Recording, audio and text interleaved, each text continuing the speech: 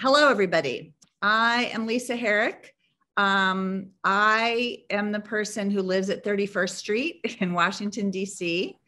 And I'm just going to say a very little bit about 31st Street. I don't want to take up a lot of time, but I know that there are a lot of people here who are not familiar with who we are, what we do, why we're here. Um, and so I'm just going to give you a thumbnail sketch of 31st Street, which has existed since 2017, shortly after Trump was elected. Um, there were 30 people in my living room, and we are now, five years later, uh, over 1,400 people on our email list. And we have several hundred people who are very, very active and so many of the faces on this Zoom are friends now. They are familiar to me. I haven't seen them in person for a couple of years, but someday I will be able to hug them again. So I'm living for that day.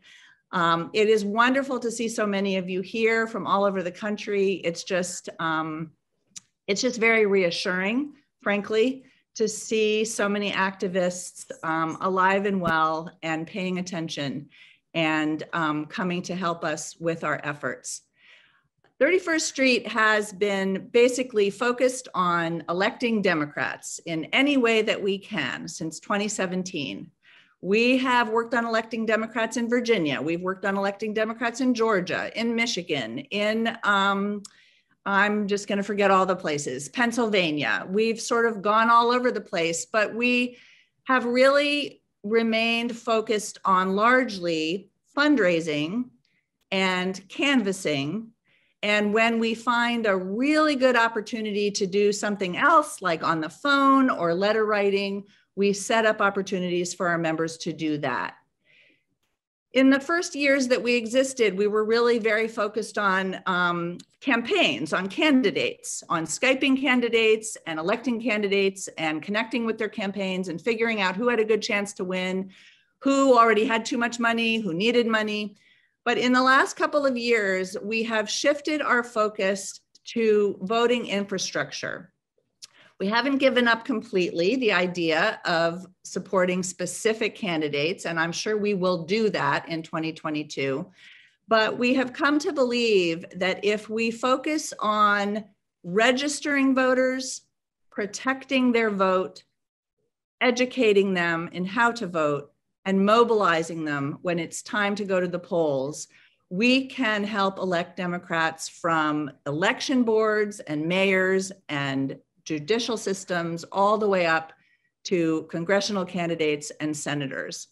And we really have come to believe that this country is in such a crisis around voting freedom and voting rights that if we focus on infrastructure, we are currently doing the most good. And you'll hear a lot more about that from Jim Shelton, who is our political analyst.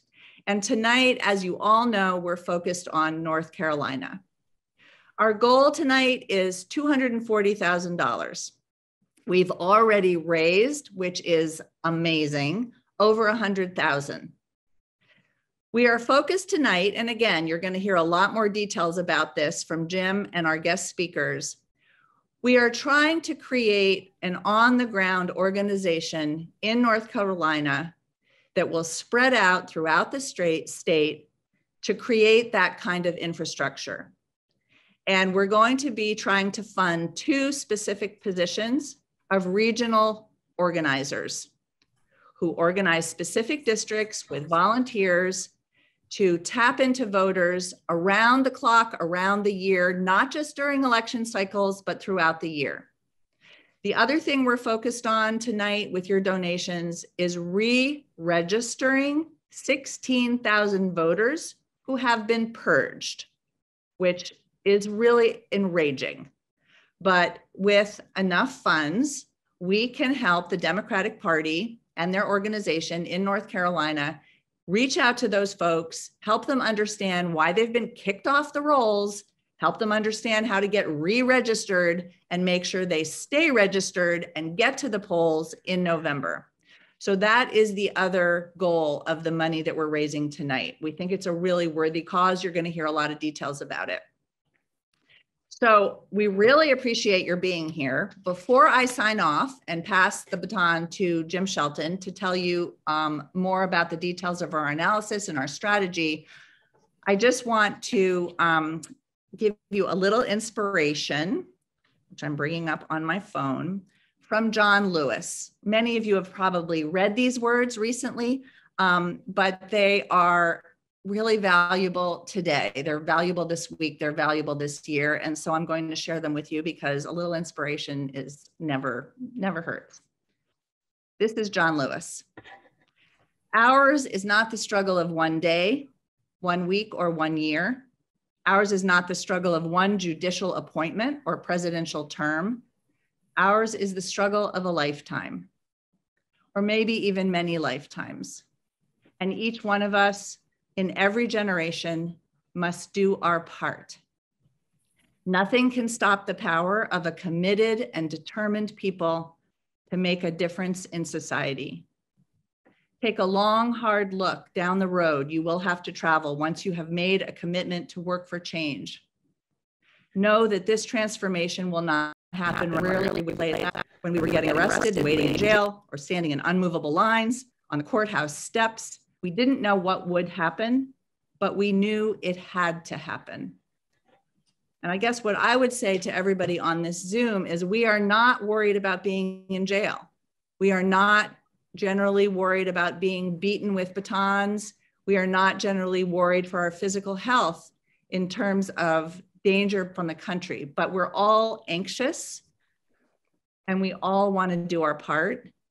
And the fact that there are 237 people here tonight for North Carolina just speaks to the fact that we can make change if we work together and we work in a united, focused way. So thank you so much for being here. I'm going to turn it over to Jim to give you more of the details. Great. Uh, thanks, Lisa. That's a great foundation and inspiration. So yeah, I'm Jim Shelton. I'm retired uh, epidemiologist and obsessive political analyst for 31st Street. And um, I'm gonna go ahead and show slides because that's, I find the best way that I can communicate. And um, folks see that and hear me okay? Yeah. Um, many of you know us pretty well, but many of you don't know us that well. So I'm gonna try to take us through a little bit how, how we're getting to where we are with wanting to support North Carolina in this way uh, as an investment. That's the way I think of it, as investment to, to win uh, races for Democrats. So I'll start with an overview, um, which is that um, we actually do realist, realistically have the potential to increase our margin in the Senate. And wouldn't that be great? Hold our majority in the House, and win many down ballot races. You know, I'm not saying it's necessarily going to happen. It might not happen, but we uh, need to do our darnest to make it happen because it can happen.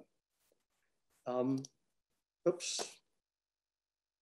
But um, this, of course, is the, the point that Lisa has made so well, which is that uh, we really feel that supporting election infrastructure, and I'll describe what that is, uh, is really the best investment we can make.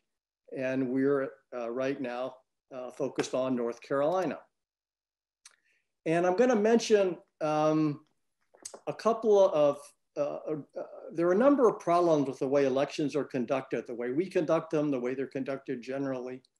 But the first two I've got on my list here are particularly important in this case, which is that we're so tied to the election cycle it's so wasteful, this boom and bust, uh, the way, way, elections occur, um, typically over a matter of a number of months.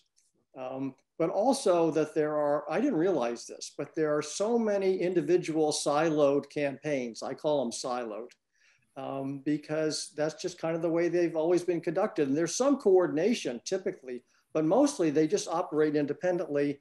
And again, very inefficient and our strategy is to try to address those kinds of uh, uh, uh, problems and turn them into opportunities. So this is the boom and bust, just to give you a picture. It's like a roller coaster. Um, and uh, again, not very good to getting us where we need to go. And also we're siloed. So um, I'll be getting back to those themes in, with respect to North Carolina, but just to back up a little bit and talk about our state strategy, you'll see in this sort of dark, I don't know if that's a teal colored here, those are our main foci at the moment. These states, we raised money for Pennsylvania in the past and Michigan for their Democratic parties. And a lot of this is on the basis of those Senate races, but uh, not entirely.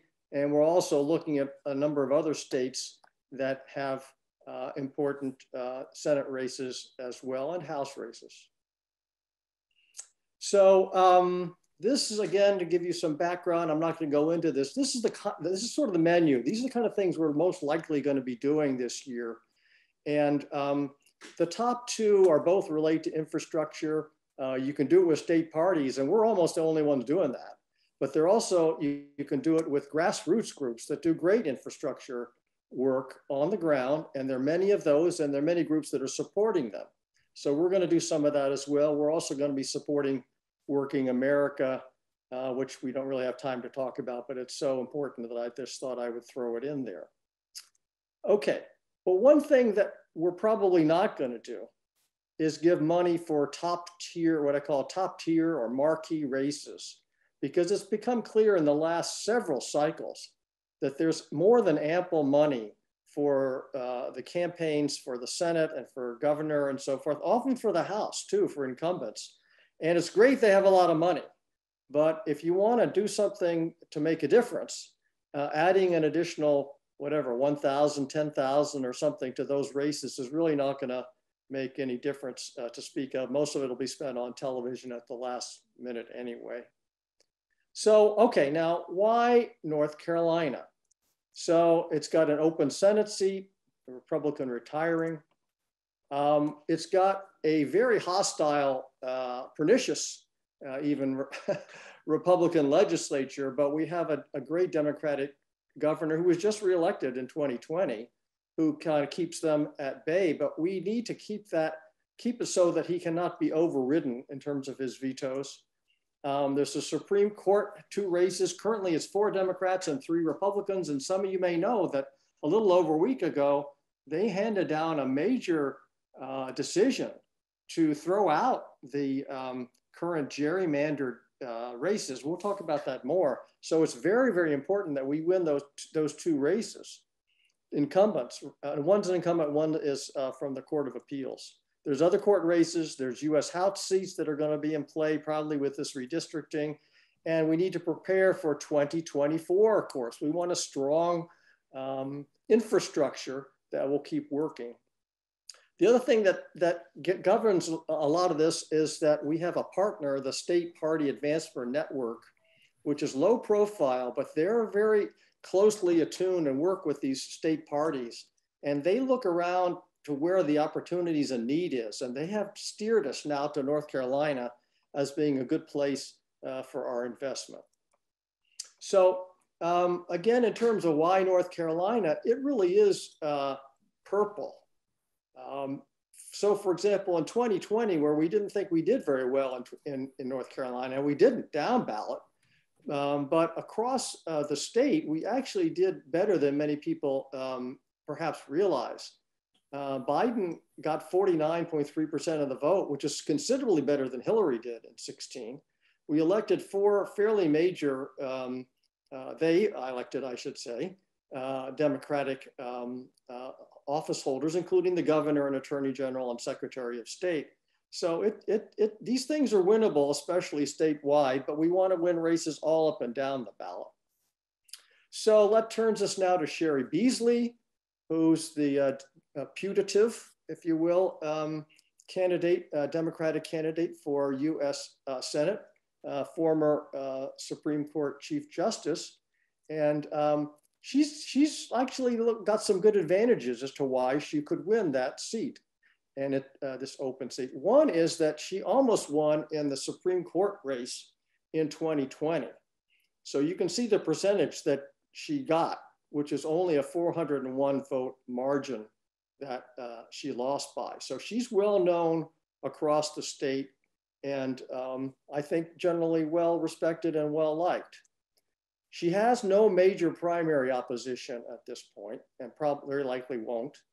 But the other thing is that the Republicans are in kind of a major dogfight, I would say, um, between a um, former governor, McCrory, who I would describe as kind of lackluster. He's lost a couple of times since then. And, uh, you know, Trump's favorite extreme uh, Tea Party Congressman, Ted Budd. And they're, you know, kind of in a, a big uh, mud fight at the moment, which will, will undoubtedly help us. So uh, now I just want to talk a little bit about this Supreme Court redistricting decision. Um, they basically rebuffed the, the legislature's extreme gerrymandering and it affects both the US House and the entire uh, legislature. So everything's up in the air. But here's the thing if any of it comes to pass, it's going to give us more blue leaning different districts and more competitive districts than we would have had otherwise. And what does that mean for us? It means that there's going to be more need. There's going to be more, more need for broad based support across these various uh, races uh, up and down the ticket. And uh, there's a February deadline for this. I think it's going to take a long time before it kind of gets figured out, but um, I'm reasonably optimistic that we'll get a better deal than we were going to get before. So again, turning to the issue of infrastructure. Now, what do I mean by infrastructure? Okay, so a lot of this has to do with this concept of organizing. You know, when I talk, well, what is this organizing anyway? Well, it's it, it's a variety of things, but to a large extent, it's the it's the ground game, it's the field program, it's the uh, you know a, a, lot of the nuts and bolts of of getting things done uh, up ticket, but also very much down ticket, uh, including recruiting volunteers, networking, canvassing, and so forth in the longer term where we are now, but then also in the shorter term around election time, you know, reaching out voter turnout, voter protection, and so forth. So it's actually very, very important, in my opinion, underfunded compared to the air war, if you will, the sort of TV war and that media war, which often gets most of the money. So we're really glad to be supporting this. Oops. Okay, and the model we're talking about really comes from Wisconsin, though it has other roots. Uh, they call it neighbor to neighbor there. Uh, the idea is you have an organizing director or somebody else across the state who looks out for it. And then there are what are called regional organizing directors um, who um, you might have, you know, 10, 12, 14 in a state like uh, North Carolina. But here's the thing is that these organizing directors, they're not really organizing. So this model is different because the usual model is that a campaign will hire 50 or 100 or whatever young organizers who come in, oftentimes not really knowing that much about where they are or what they're doing, and they're having to learn and all that sort of thing. This is a different concept. These regional organizing directors, they recruit and find local volunteer leaders who then reach out to their contacts so that they have a neighborhood team that over time, you know, is a, is a, a neighbor to neighbor uh, organizing model. Now, I'm not saying this happens overnight or anything like that. I have no illusions that it's, you know, works perfectly or anything like that, but it's definitely a model that's worked very well in Wisconsin and Mi Michigan. And other people are moving in that direction. And um, North Carolina already is, by the way, as you'll hear from Meredith. So we're adding on to this. We're, we're hopefully getting them toward getting their full complement of regional organizing uh, directors. So uh, why do it with the state as opposed to doing it with um, uh, grassroots groups? I, I, won't go into this all that much, but I mean, you get you get something like statewide coverage this way. You get up get it up and down uh, tickets. Uh, there's some other. There is an existing party leadership uh, structure you can work with. There's some legal advantages of being able to work directly with candidates and campaigns. And the other thing is that there are not that many people that are doing it. We're kind of filling a need that's not really being seen that much by other people, unfortunately. Why right now? Well, this, as you can imagine, and you might have inferred from what I've been saying already, it takes time to do this. In other words, it's not just bringing in people at the last minute. You've got to have these different tiers and um, you know it takes time to do hiring deploying setting up things learning how to do what you're what you're doing um, And there are cumulative things like voter registration you want to be doing sooner. And the other thing is, is relationships. It's so important to have these relationships and recognize that these people are reaching out to the people that they know to some extent. They're not necessarily in first name basis with everyone in their, their neighborhood, but they, they're people that they can relate to and, and know. So SPAN, just a little bit about them. They're wonderful, you know, a great partner to work with. They, um, they scout out the opportunities. They match, by the way, and they're matching what we raise uh, for this purpose. Um, they uh, also, by the way, it's not just give them the money and walk away. They, they, I get a proposal from all these states, and then they have a benchmarks that the states, you know, how many organizing, how many neighborhood groups did you organize? How much training did you do? How much door knocking? All that sort of thing. And they also have some uh, training and technical assistance to provide.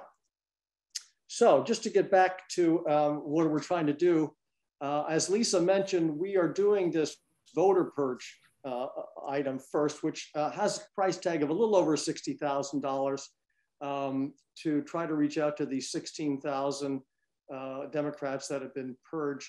And recall, um, Cheri Beasley only lost by 401 votes. So if we can, you know, even if we get a thousand votes uh, out of this process, it's a, a good thing. I think hopefully we'll get a lot more. We're going to do the two regional organizing directors, which costs about $90,000 each for a year. And then the grand total is $240,000.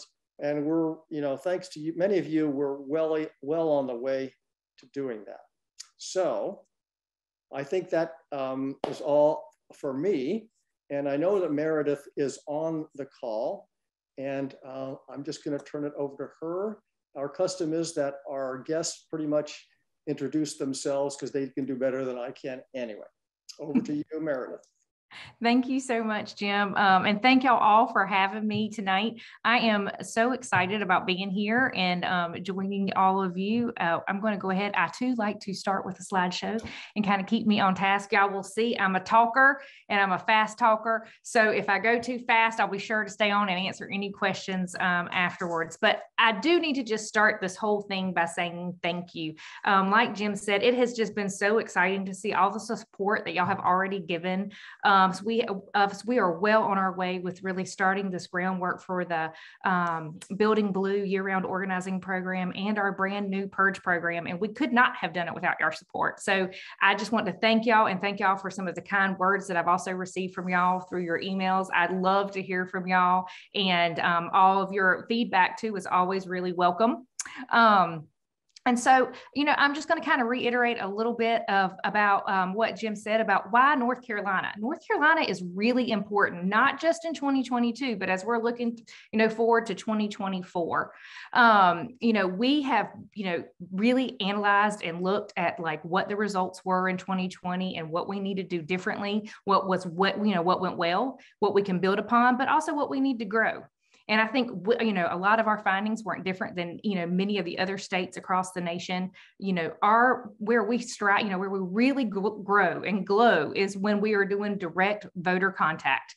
And, you know, I, we wouldn't change what we did because of COVID, but it did really hurt us and, you know, and our momentum. And so one of the things that we like really dug into talked with uh, Martha Laning with over at Span Network, also former chair for Wisconsin and several other states about how they were, you know, creating their year-round programs and what worked for them. And so in 2021, we started, you know, our year-round organizing program called Building Blue, and I'm going to talk a little bit more about that in a few minutes. Um, we started flipping local seats. We did our first year uh, municipal GOTV statewide program that we have ever done. Um, and now we're looking to 2022. And 2022 is really important here in North Carolina. Our maps are challenging. We can't, you know, we can't ignore that. We, we are gerrymandered and we won a really important fight in the Supreme Court, um, state Supreme Court recently, but we've got a ways to go. And so not only do we want to flip this US Senate seat, but we have to retain our courts. We have two Supreme Court seats up and four Court of Appeal seats up in 2022, and we have to protect the governor's veto.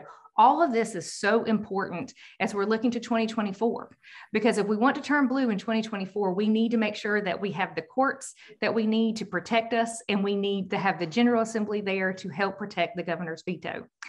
So if we're looking through, you know, we're going past 2022, we want to look towards 2024. And all of these things we're doing right now are building a foundation. In 2015, the North Carolina Democratic Party really started doing just kind of a rebrand and a rebuild. And we're finally at the point right now where we can really not only just create a strong foundation, but grow it. And so that's going to be through our voter protection program, and it's going to be through our year round organizing program. So what why is it critical to do it right now? Again, like all of these things are building blocks and you know, and building relationships takes time and creating a strong voter protection program takes time. And so we, you know, looked at again the 2020 results and thought, how can we make North Carolina stronger and how can we make this party more efficient and more effective for our candidates and the people on the ground? And these two programs were really born from this. But again, it doesn't happen overnight.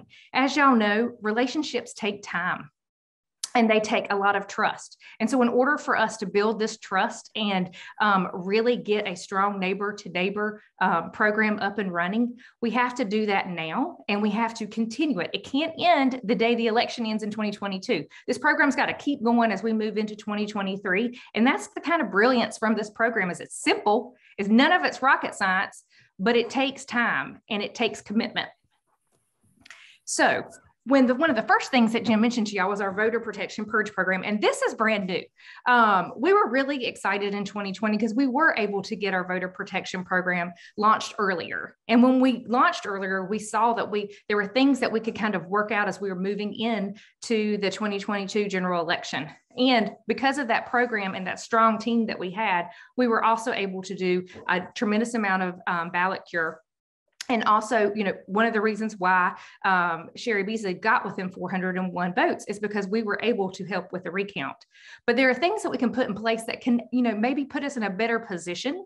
Um, because as we saw with those 401 votes, it's one of the hardest, you know, losses that I have been around and and kind of went through. Is because we were so close. But this purge program can help us maybe save some of those votes. So we're starting, and I'm gonna say starting because you know the voter purge is continuously happening. Um, right now, we're currently targeting 16,000. Um, 645 Democratic voters, Democratic voters um, who were recently purged from our polls. Um, and so we are reaching out with these to these purge voters first by mail to let them know that they have been purged. We are also following up with text, phone calls, and then in-person contact. And as you can see from this like little um, table that we have at the side, Democratic voters are actually being purged at a much higher rate in North Carolina. So we're going to continue to monitor that. Um, it grows every single month. Um, we have this wonderful program um, that we are partnering with the DNC with so that we will continuously know um, which um, voters are being purged and um, we can continue to reach out to them. But because of all of your support, we have already fully funded this program. And this is all to you guys. So, again, thank you so much. We are really rocking and rolling on this program already. Um, we have our next multi department meeting um, next week to actually walk through the next steps past the mailing. So, thank y'all so much. We'll keep you posted. Um, we're hoping that some of y'all will, will volunteer with us as we continue to reach out with these people but I also wanted just to give you a, just a kind of a quick view of like what the tiers are, because again, this is going to be a very large project. Um, and this is going to, again, continue from now. This is a year round project. This will, we will continue to um, reach out to our purged voters um, as we move through, but you can see kind of the tiered system of if this numbers get too large, um, kind of where we will attack first as a staff we are also setting up trainings now um, because this has been funded. We are actually setting up additional training so that we can actually educate all of the county party structure as well to help us with the outreach um, so that we can stay on top of this. Um, but so the program basically um, was about $66,000. And again, because of all of y'all's donations, and we've, I think, already hit over 100,000 um, as of tonight, um, we have fully funded this program. So thank y'all so much. We'll keep you um, in the loop as how this, you know, a, as we get more folks re-registered, we'll keep you in, in the loop and let you know how this is going. But this was again one key step we think that again every vote matters and this is how we can keep not only make sure that we are not disenfranchising voters for not knowing that they were purged but also can just make sure that we're getting you know folks um, to know what is going on. Um, and then i'm going to move over to the year-round organizing infrastructure. So again, with y'all's, you know, since with y'all's help has been so um, kind of empowering to us, we have, you know, upped our goal a little bit overall. We originally went in saying we wanted 10 rods um, for the state of North Carolina, but because y'all have been so generous, we are now actually with a new goal of 14 rods because between you guys and some of the, you know, matching grants from SPAN, we think we can do it. Um, so right now we currently have nine regional organizing directors on staff. We had three onboarded officially today. Um, so we were really excited about that. Um, and then with y'all, we are going to be able to, we're actually already interviewing. We had a couple interviews today for two new rods. Um, so we are really excited about moving forward with this program. Um, you know, again, what this program is really looking at is taking, you know, at the party, I'll say we typically had a very vertical approach to organizing. We looked at precincts, we looked at county chairs. You know, we kind of had a, you know, it was a structure within the party system when we were talking about how we were going to organize at the local level. This has really turned it on its head. And we are now organizing with a horizontal approach. So we're going into communities and into your neighborhood. And we're not, we're, you know, hopefully what the first kind of meeting is not going to be about being Democrats. It's going to be a listening, you know, tour where we go in and we listen to folks about what the community needs. You know, here, start to rebuild the trust. And then as the trust builds, build these teams. Um, we're asking for each what we're calling our grassroots captain to first bring in five people and hope that each team grows to 25 people. Our goal is that by the um, end of the year that we have reached all 2,600 precincts in North Carolina um, to kind of give us just a, you know, kind of goal. Um, but we also want to do not just have these meetings, but have events driven by these neighborhood action teams. So community events, getting people, you know, uh, surrounding by, you know, different events, whether it be, you know, um, a Boys and Girls Club event, a backpack event, you know, what kind of things are important to the community at the moment to try to start getting them involved in these different events. And then as this is growing, our, we have also just gone ahead as, as the teams are being created, that they, we give them different ideas of a monthly action item so that they don't also always have to come up with the events at the local level. Um, so like for instance, in January, it was a service project, um, you know, in honor of Martin Luther King. We are also really concentrating on one-on-ones in the community so we can get, to learn and know um, who the local leaders are and build relationships with them. And then we also have our Building Blue training program where we offer two days a week different trainings um, for our grassroots organizers, our county chairs, our candidates. So it's a, you know, a three kind of pronged approach to, um, to training. And that started actually in 2021, in March of 2021.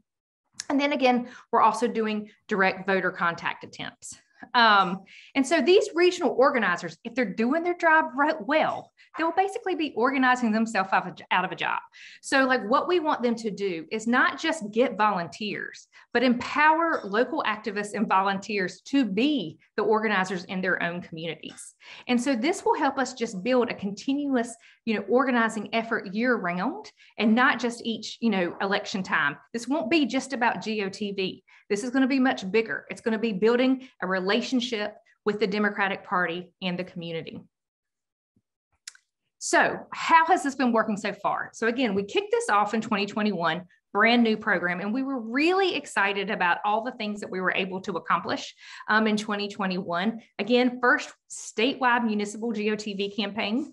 Um, we flipped some very important seats from red to blue. We were really excited about. We had some big mayoral races. Um, again, 593 one-on-ones with community leaders. Again, this is something that just typically doesn't happen at the state party level um, in terms of organizing. So, you know, as you know, the typical model, you know, most of these, all these things that we are we're talking about now happen during coordinated, and the coordinated doesn't start until the election year, and sometimes into the summer of the election year. And so that's why this is this program is so important, so that we're not waiting and that we're building these relationships and building this foundation as we move towards GOTV. Um, we had over 12,000 volunteer shifts completed, 3,200 training shifts completed. That's 3,200 unique individuals um, sought training. Um, over 73,000 doors were knocked. Um, nearly 100,000 calls were made. 56,000 texts sent, and we've already done a you know a pretty substantial texting program starting in January already to talk about the good works that Democrats are doing, and then also to continue to get encourage people to get vaccinated and where they can learn where the testing sites are, where the vaccination sites are. Um, some of the other pro you know events that we've done have been weekends of action um, where we've been talking about like what the American Rescue Plan is what the municipal um, election um, opportunities are. Um, and then again, hired six rods in 2021 and three already this year. So we are, again, just super, super excited about um, everything that we have on the horizon with this program. But it's going to take a lot of work. Um, and we have just kind of begun. So the overall program for the 2022 cycle was nearly a million dollars, um, and 90,000 um, is kind of the actual cost for each um, rod that we will have. Um, and so that includes all their salaries and benefits, the travel, phone, that kind of thing that they'll need to actually do the work um, on the day to day. So I've talked a lot and I've talked really fast because y'all know I'm excited and I am just so grateful for y'all to even sit and listen through all of this. But we do have a lot of work here in North Carolina. And, you know, like, you know, we heard earlier, our democracy is you know in peril at this point. And it is really important that we put the foundation in place so that we can fight this every step of the way. Our courts are under attack. We have to protect that veto within the general assembly. And we have a shot at flipping a us senate and electing the first black female us senator from north carolina. And i can't tell you how exciting that is um, but we can't do it without y'all. So i really do thank you for listening to this whole you know um, thing that all the programs that I've been telling you about, like your support is helping us build a real foundation and build off all the other things that we're trying to work on. And again, we just couldn't do it without you. Um, and that, you know, and I also, I know several of you have already even volunteered, you know, uh, said you would volunteer to write postcards and make phone calls. And again, that means just as much to us. So thank you so much for all of the support that you've been offering us. Now we have a very special guest with us tonight. Um, and her name is Sydney Batch. And I am a little partial because she is my state senator. Um, and I feel very lucky to have her. Um, she's a small business owner. Um, she's a family law attorney. She's a mother of two um, really cute little boys you can see right there on the screen. Um, she is, she went to UNC Chapel Hill. So, I mean, you know, I love her because um, I'm a huge UNC fan and alumni myself. Um, she was first elected in 2018 to the NC House, and now she is our state senator. And um, again, we are very excited to have um, you here with us, Sydney. Um, we thank you for giving us um, your time this evening to tell us a little bit more about why North Carolina is important and, and what you're doing. So with that, I'm going to turn it over to Senator Batch. Thank you so much. And I just have to start off by saying thank you all.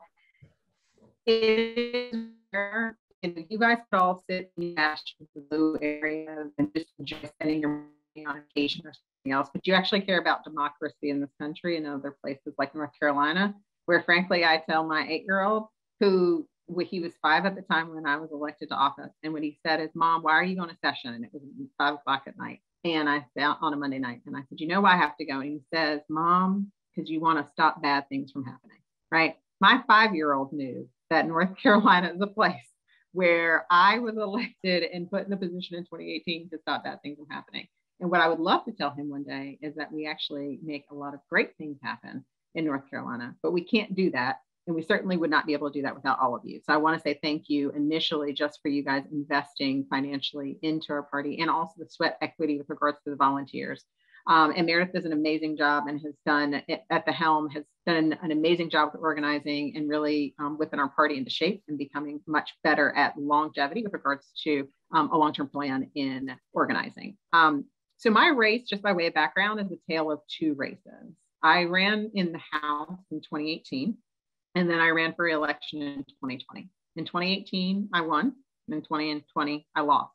I had the good fortune of being appointed to the Senate in January when my senator um, stepped down um, after his election. And so I now serve in the Senate. Um, and one of the major differences that I can point out was the difference of organization, field, and speaking to voters. And this is why I say that in 2018, we had a very good, well oiled machine. We worked hand in glove with the party, and we had regional organizers and local organizers who literally canvassed a ridiculous amount of doors. We were on doors all the time. And in 2018, um, I was brand new, um, I was brand new to politics, had never been involved, um, and had to do all. We worked with the party, we worked with the governor and the program that he built in order to have an amazing infrastructure put in place. And we were able to knock on thousands and thousands of doors. And what we were able to do is by me having volunteers go and knock on the doors of those voters who we needed to turn out, I could spend my time trying to convince unaffiliated voters and unexcited Democratic voters and some Republican voters to actually vote for me. Because this is what I truly believe, and this is what I have found out in my work in social work and law, is that it's really hard to hate people up close. When you knock on their door, when you talk to them, when you engage in a way in which you don't assume that somebody has bad intentions, but you're just trying to meet them where they are, you get a lot further. So when we have volunteers who can go and drum up support and get people to go out to vote, then that allows me to spend my time instead of on those doors where we may not have to convince somebody, but we just have to say, hey, did you know there's an election?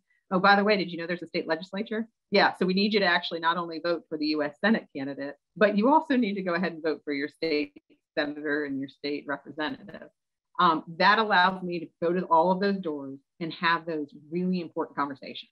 And my goal in knocking on a Republican's door is one of two things. Either you hopefully vote for me, or you don't think that I am the devil that is always on a mailer in your mailbox.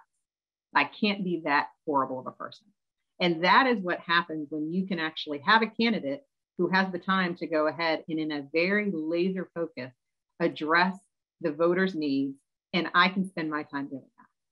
So in 2028, I mean, in 2018, I raised like $400,000. Uh, party helped out a lot with regards to chipping in for other things like TV, like you guys have heard about. But then I spent the vast majority of time not worrying about raising money, but canvassing and knocking on doors. And I knocked on a ton of doors and I had a, an amazing amount of support with regards to organizers. And we won. And that was one of the, the um, seats that we flipped from red to blue. And I'm the first Democrat that has held that seat. I'm also the first Black woman to hold that seat, also the first Black person to hold that seat. My district is unique in North Carolina. We have very, we have very few competitive districts. We have really, really blue districts and red districts, right? They're very polarized. Um, I am one of the rare legislators who actually represents a majority white district, um, and that is rare in North Carolina in no politics. So that was a fantastic victory. Let's fast forward to 2020. The major difference was COVID. I still stand by the fact that as Democrats, we wanted to make sure people were safe. We did not know what was going to happen with regards to COVID. We did not want to kill people by knocking on their doors or making them feel frustrated. And so what we did was we made a lot of calls, but calls are not the same as a contact at your door to go ahead and talk to somebody, be it the candidate or anybody else. The other major difference for me was that when I ran last year, I had to raise a million dollars by myself without support. And that allowed for me to basically only allowed me to stay on the phone all the way up through October. So when the candidate has be on the phone all the way until October and can't go and can't or can't go ahead and make those phone calls, then I'm not able to go ahead in a swing district and actually convince some of these unaffiliated voters to vote for me, right? And my district actually has the highest percent of voters in my district are unaffiliated. We don't know. I mean, my district's growing really rapidly. We had 10,000 new voters that have registered since January of this year. And so it's rapidly growing. And a lot of people are moving from out west, mid um, the um, out west and the Midwest and the North. And so this is an area that's blowing up, but it still is a very much um, red area. And they, in my district, in this uh, process in the Senate, has actually been in a situation where I am one of the political gerrymander districts that they said was politically gerrymandered. But the major difference in 2020 is that the amount of voters that registered for Republicans over and above Democrats was the margin that I lost by. They turned out their voters at a higher rate. They also engaged with their voters. And Republicans finally found out what Democrat secret sauce is, and that's canvassing.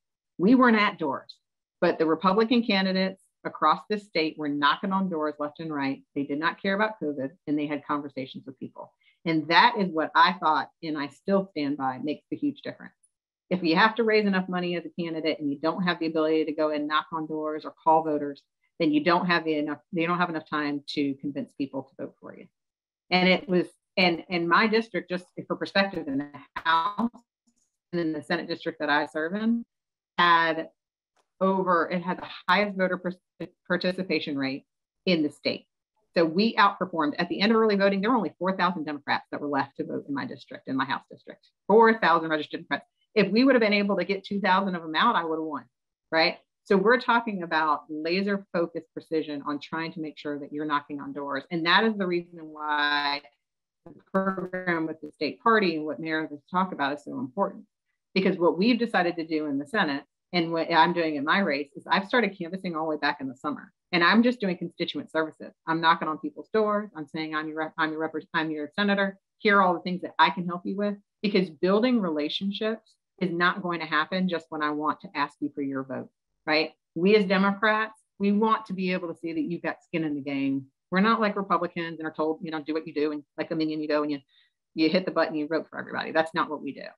We need to have long and sustainable relationships. And so that's what our campaign has continued to do.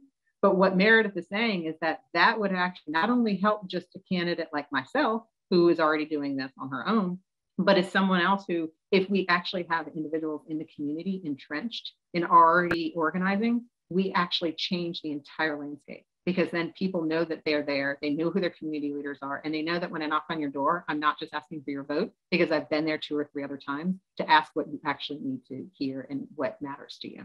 And so when you're thinking about North Carolina and investing in our races, what I will tell you, and I think it's what Jim said earlier, is that like I will I will just give you how depraved some of the Republicans in the state are.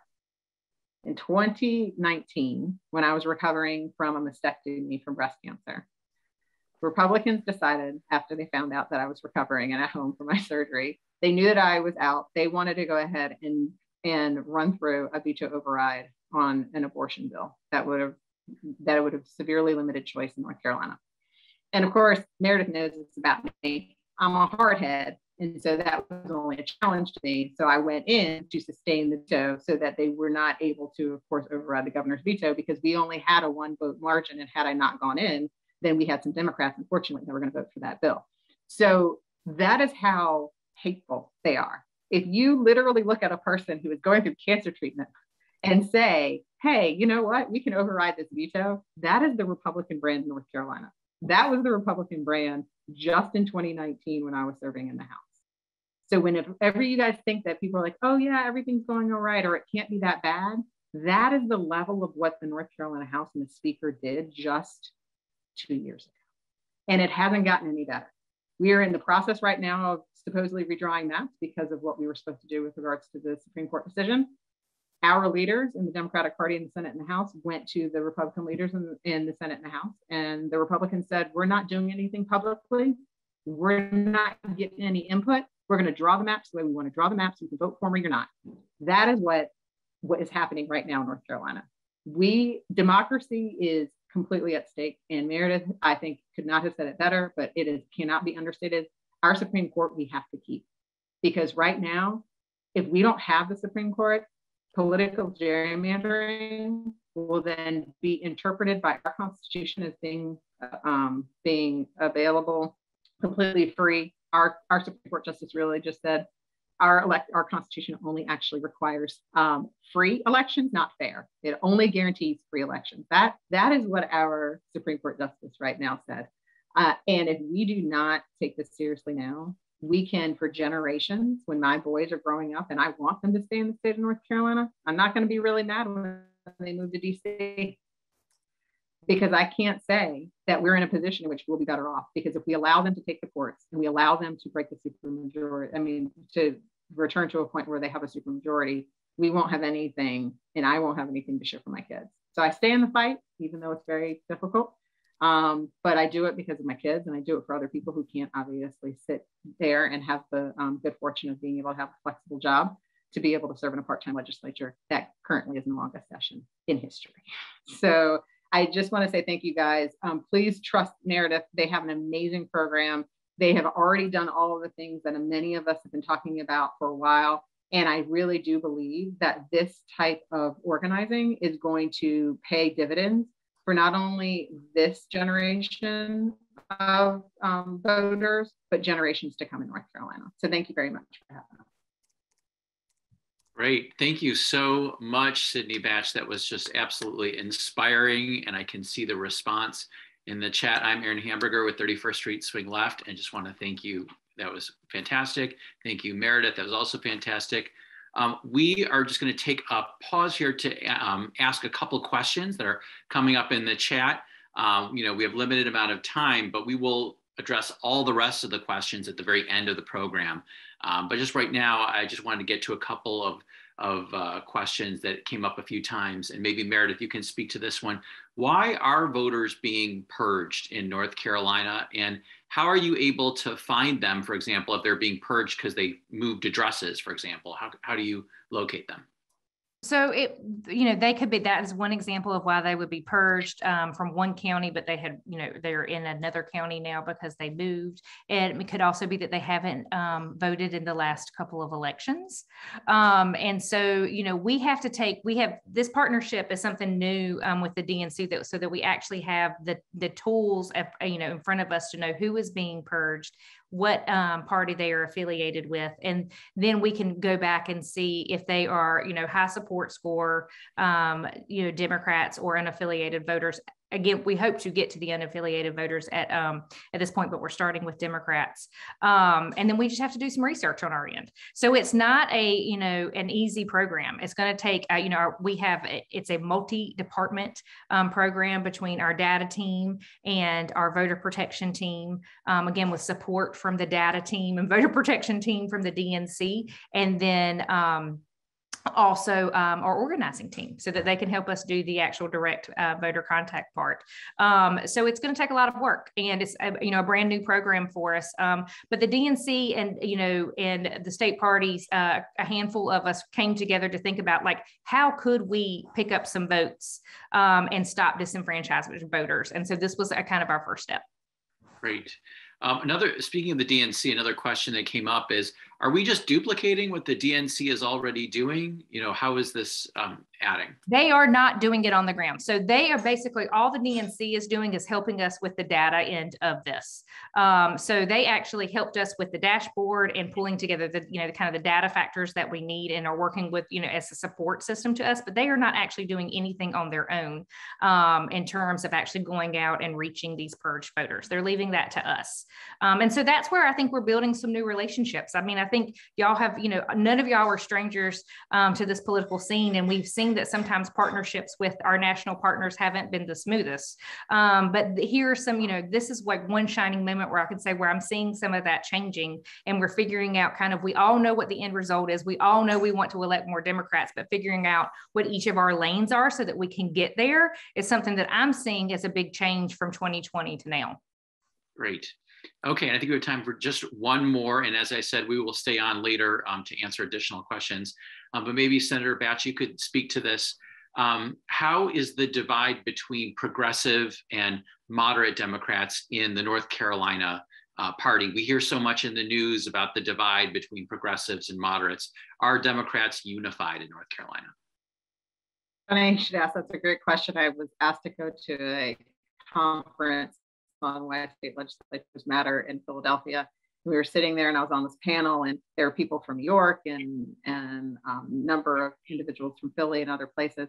And one of the things were like the Democrats, you know, I'm a progressive Democrat and I can't believe that, you know, I, I, I have more headache for my Democratic party than the Republicans.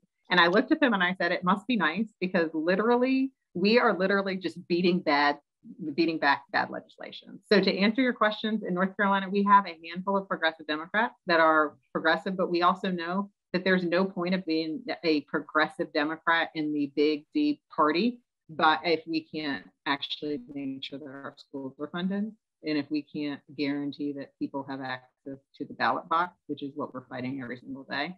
Um, so for the most part, we all work together and with the exception of a couple of Democrats that might be Democrat leaning only and vote Republicans, we don't have the extreme where an extreme left progressive is preventing the Democratic Party from making progress. I think we all know that we are in the same boat. And the only way that we're ever going to improve um, the ability for us to take a majority in North Carolina, which is a moderate um, state, is going to make sure that we actually are pushing forward messages that resonate with the vast majority of voters. Wonderful, thanks. Okay, I'm going to turn the program over to, I believe, Mary, it's, it's your, uh, your point. Thanks, Aaron. My name is Mary Shelton Pence, and I am going to take just three minutes to ask something of you. And I'm going to ask my brother Jim to put up my two slides. So I'll give him just a second to get that done.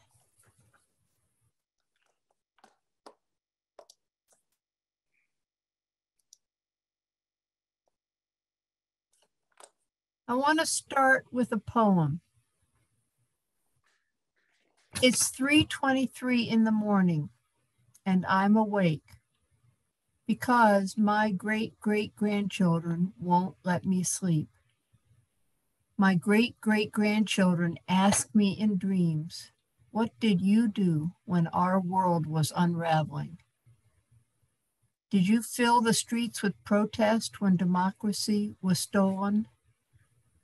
What did you do once you knew? You're here on this Zoom call tonight because you know. You know our world is unraveling. You know that there are those who are attempting to steal our democracy. So, my question is what will you do with that knowledge? What will you do for your great great grandchildren? But also for your children and grandchildren and for yourself for what life you have remaining to you. My request for what you will do is that using the donation link in the chat, you stretch in contributing to the North Carolina Democratic Party, whose articulate and inspiring spokespeople you have just heard. And going to my next slide, Jim, my request is that you give at a level that reflects your belief in and commitment to saving our democracy.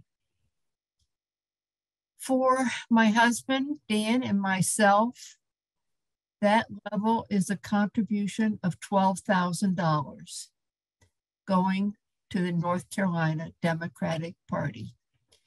And my brother Jim is contributing at a similar level. My request is that you wake up at 2:32 in the morning thinking of your great grandchildren and your grandchildren and your children and yourself determined that the contribution you make tonight will be one that reflects your commitment to saving our democracy.